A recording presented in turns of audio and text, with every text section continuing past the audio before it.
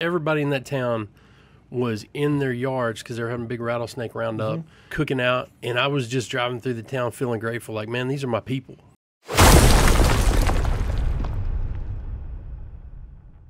I think the other biggest part about this is it's it's tertiary, even like you want to use fancy words like quaternary markets that nobody ever thinks about. Yes. These- we that's that's our bread and butter. These are the people we talk to every day. I was driving by some place. Oh, Walnut Springs this week. I'm driving through Walnut Springs.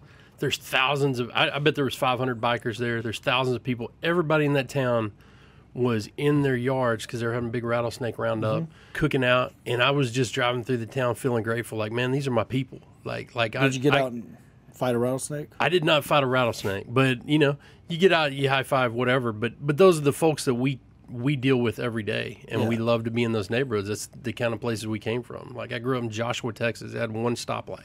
Those are the places that are overlooked so much when natural disasters happen. 100%. You know, because it's fly. It's not even flyover country at that point. It is.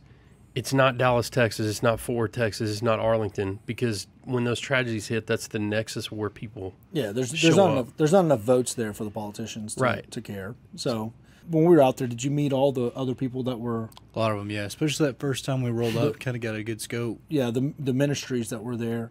It, Oh, yeah. Like when we were there, it was you know churches from Amarillo, churches from Kansas, churches from you know it was churches with men that were part of a fellowship that showed up with chainsaws and you know equipment and everything else and but it was i mean it was mainly church bodies in that town cleaning up and us everybody i talked to and, and it was it was pretty amazing to see and, and if you're ever if you're ever involved in it you'll i mean i hate to call it addicting but it would be addicting it's hard to ignore um, uh, you know something like that that happens close to home Well, I, I mean, I don't- I don't think addicting is the right word. It's hard to feel in your life every day the impact that you make, but you can feel it right there when you're changing Yes. somebody's life immediately.